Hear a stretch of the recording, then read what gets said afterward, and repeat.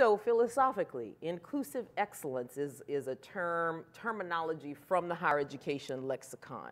You can't have excellence without inclusion. You can't have excellence without diversity. So we want to get away from the if I hire a woman or I hire an ethnic minority, somehow in, in the minds of some, that means that I'm, I'm skipping out on excellence or I'm skipping out on the best.